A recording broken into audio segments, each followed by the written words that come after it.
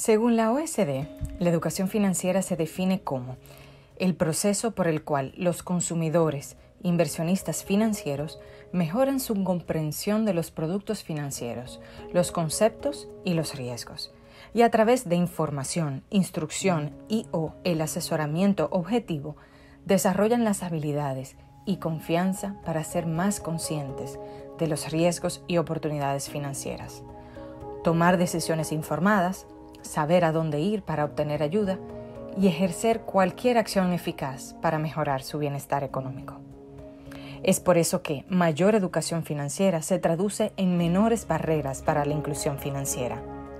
No obstante las buenas prácticas a nivel internacional, las necesidades en materia de educación financiera no son iguales en todos los países.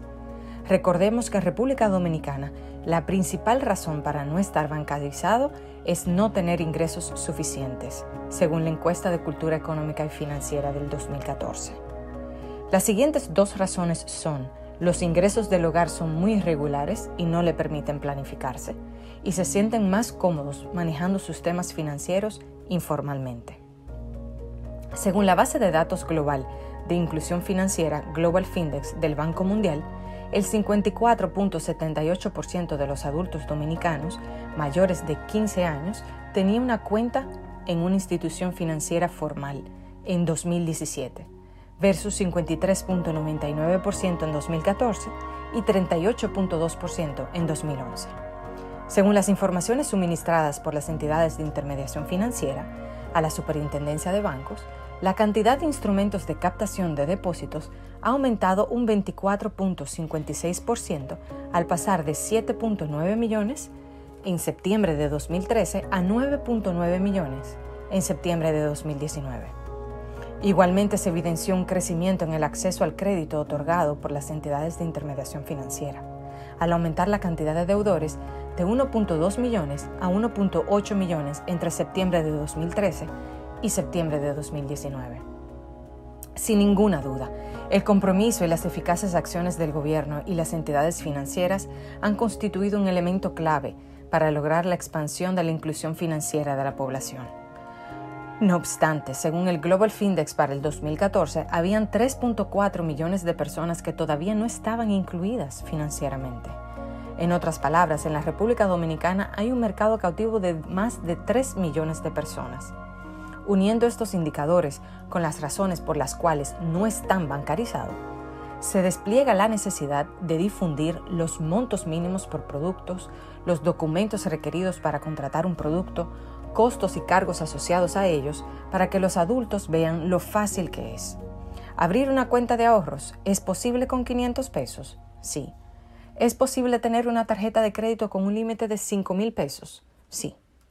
Respecto a que los adultos se sienten más cómodos manejando sus temas financieros informalmente, me atrevo a decir que está muy relacionado con no conocer las entidades financieras que le quedan cerca, así como el costo financiero y en tiempo de ir a una oficina bancaria. El costo del pasaje para ir a pagar a una oficina para muchos puede representarle entre el 5 y 10% de su cuota mensual.